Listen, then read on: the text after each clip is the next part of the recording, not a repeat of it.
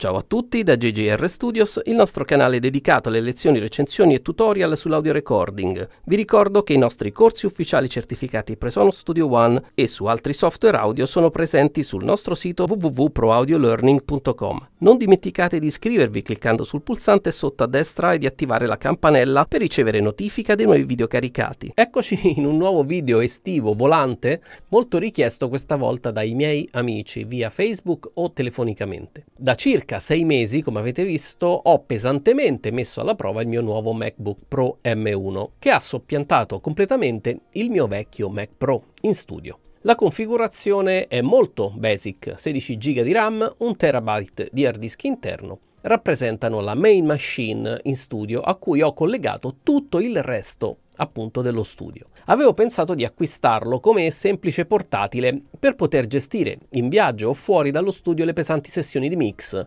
e arrangiamento su cui lavoro costantemente, ma una volta inserito qui in studio si è rivelato più potente e performante di quanto mi aspettassi. L'idea iniziale infatti era quella di poterlo utilizzare mentre attendevo l'arrivo del Mac mini M1 Pro o Ultra che era in una lunghissima lista di attesa prevista consegna per il prossimo settembre-ottobre. Dopo averlo però installato e stressato a dovere mi sono accorto di essere in grado di gestire tutto il lavoro dello studio ed anche di più senza sentire la necessità di una macchina più potente. In questo video risponderò alle diverse domande più frequenti che mi sono state fatte via Facebook in relazione alla mia nuova configurazione, sperando di non dimenticare nessuno. Premetto e tengo a precisare che questo video non è sponsorizzato in alcun modo da nessuno, niente sconti, niente NFR, niente di niente, nessun marchio che citerò mi paga o mi ha pagato in passato. Come sapete ormai da tempo utilizzo questo canale ed il mio tempo per parlare solo di cose che realmente utilizzo in studio e nel lavoro di tutti i giorni. Ciò che mi ripaga infatti è la fiducia che mi accordate affidandomi i mix e i mastering dei vostri progetti. Ho già dedicato un video al nuovo Mac 1, lo trovate sul canale, ma ero titubante riguardo l'uso di soli 16 GB assolutamente inutili sui vecchi Mac Intel. Morale della favola, ho cancellato l'ordine del Mac mini in attesa magari di un Mac Pro M2 Ultra di futura uscita e anche un po' poco impressionato dalla differenza di potenza tra il processore M1 Pro e le versioni Max e Ultra che sono attualmente disponibili. Usando però solo il MacBook Pro ho dovuto pensare di acquistare tutta una serie di accessori in grado di controllare tutto l'hardware presente qui in studio, monitor compreso. In viaggio utilizzo soltanto una scheda audio e l'amplificatore cuffie Loto che trovate recensito sempre sul canale e che gestisce in maniera incredibilmente ottimale le mie Audis LCDX o anche le HD650. Partiamo dalla Dock Station.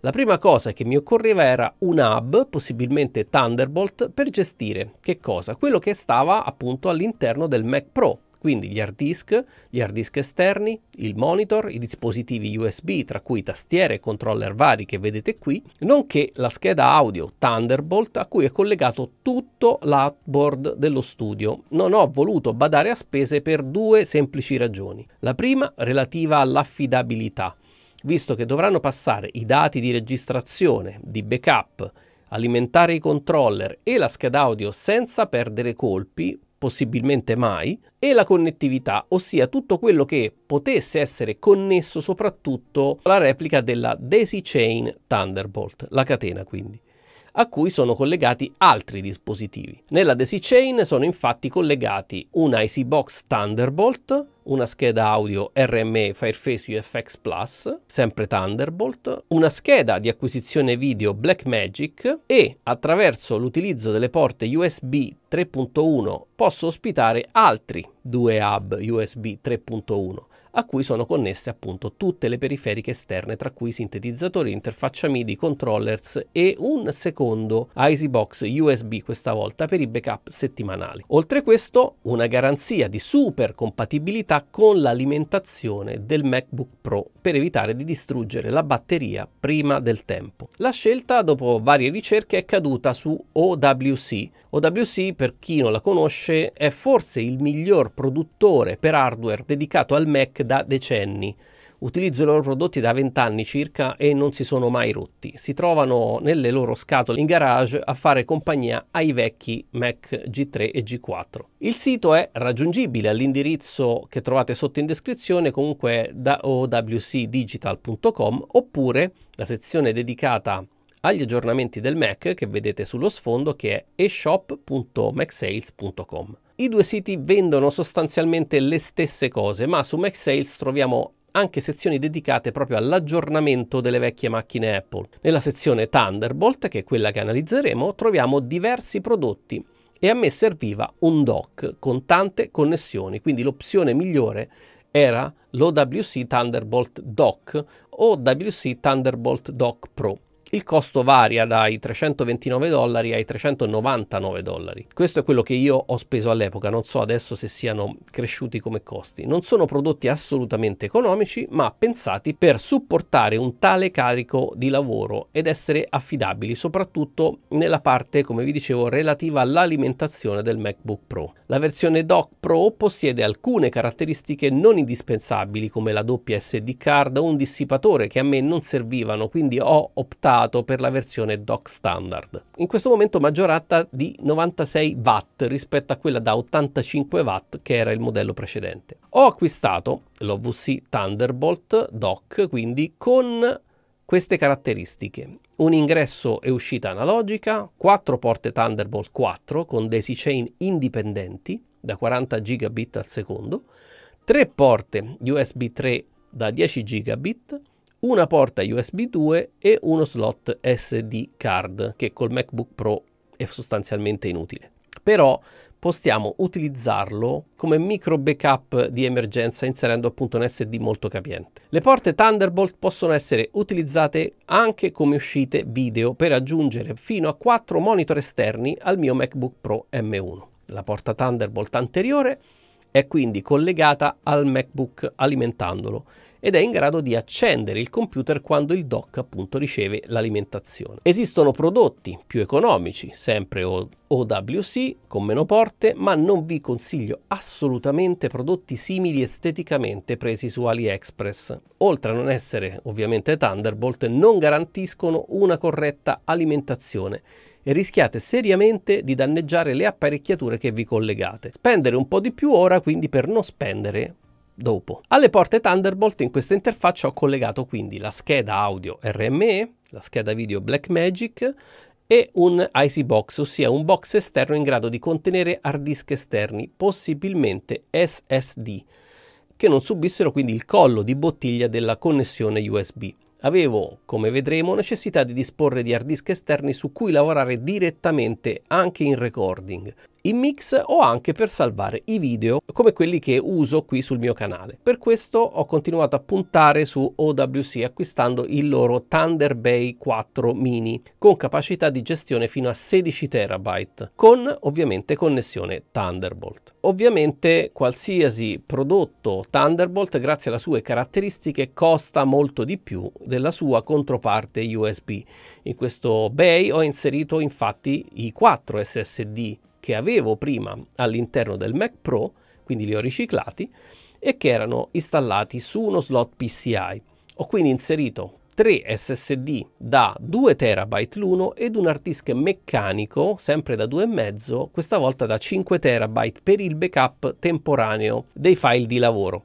In questo modo le copie interne dei file e le fasi di lavorazione non subiscono, come dicevo, colli di bottiglia viaggiando alla velocità di 40 gigabit al secondo, superiore quindi a quella dell'hard disk, come se fossero inseriti all'interno del computer. È un ottimo sistema anche per stoccare le librerie audio. Un domani sarà semplice quindi poi sostituire il MacBook Pro e lasciare il dock eBay in questa configurazione in maniera semplice e rapida. Il Thunder Bay è molto silenzioso e la ventola non infastidisce il lavoro in studio con soli 32 dB di noise. Inoltre il sistema include la possibilità di gestire dei backup RAID, una porta Thunderbolt supplementare a cui connettere un ulteriore Daisy Chain Thunderbolt e quindi altre periferiche in catena. Il prezzo che ho speso per questo Thunder Bay era di circa 249 dollari. I cavi Thunderbolt sono inclusi in entrambi i dispositivi e questo è un ottimo risparmio. Per collegare tutte le periferiche USB, come ho accennato, ho scelto degli hub alimentati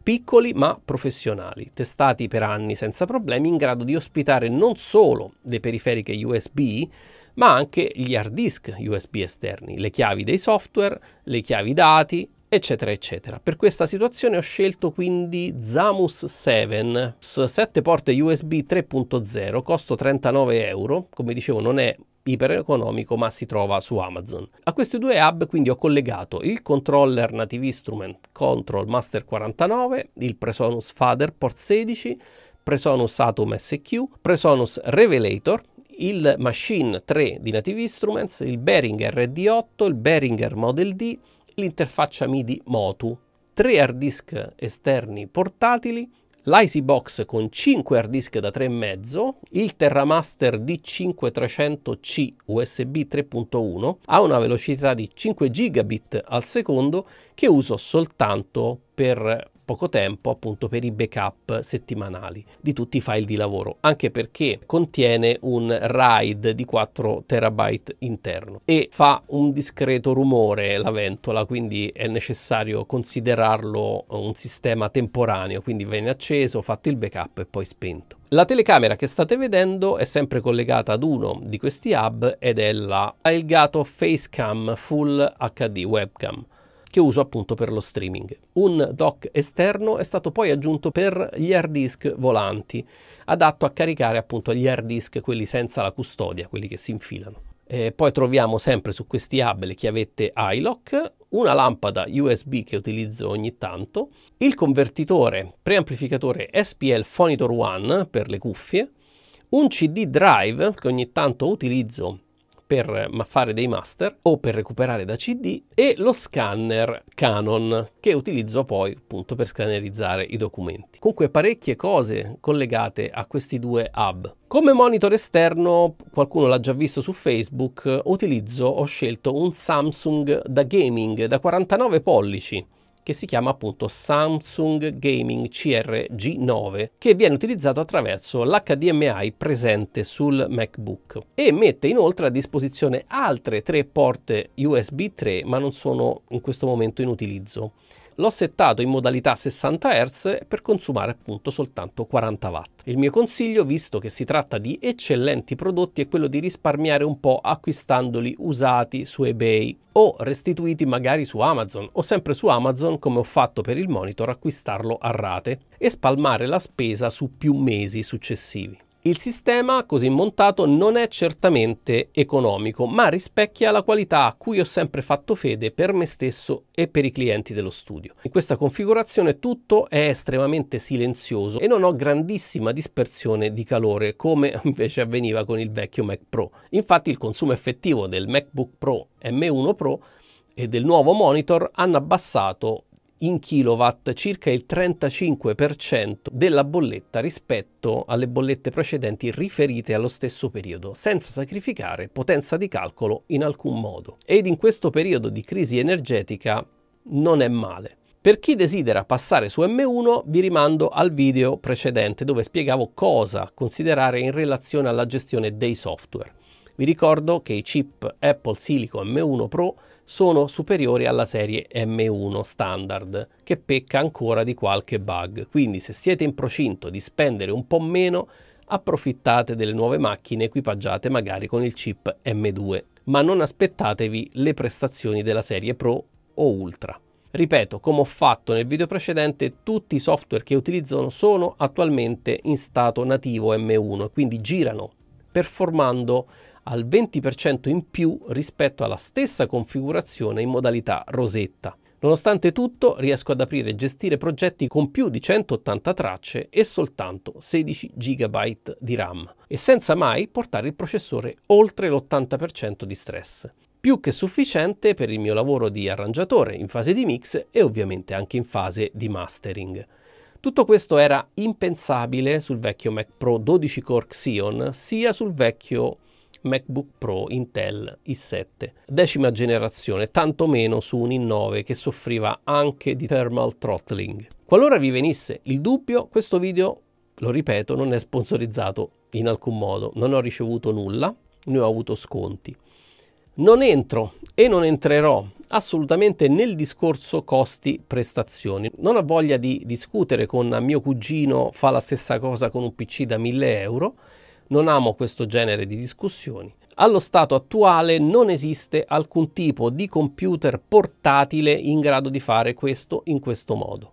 Quindi evitiamo a priori ogni sorta di discussione. Si può spendere la stessa cifra ovviamente costruendo un PC ultrapotente, magari anche più potente, ma non garantirà consumo, dissipazione e portabilità come in questo caso. Chi desidera prendere spunto da questo video è ben accetto. Gli accessori nominati funzionano benissimo anche sotto Intel. Vi ricordo che il protocollo Thunderbolt è supportato molto bene da Intel.